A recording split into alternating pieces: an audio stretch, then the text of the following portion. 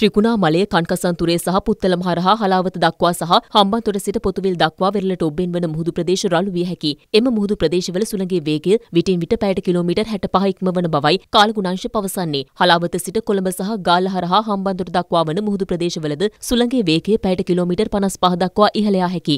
එමෙන්ම කල්පිටිය සිට කොළඹ සහ ගාල්ල හම්බන්තොට හරහා පොතුවිල් දක්වා වන මුහුදු ප්‍රදේශවල මුහුදු රළ මීටර් 2 2.5 අතර ඉහළ යාමේ හැකියාවක් පවතිනවා. මේ පිළිබඳ දැඩි අවධානය යොමු කරමින් දිහිවර සහ නාවික කටයුතු වල නිරත වන ලෙසයි කාලගුණාංශ දැනුම් දෙන්නේ.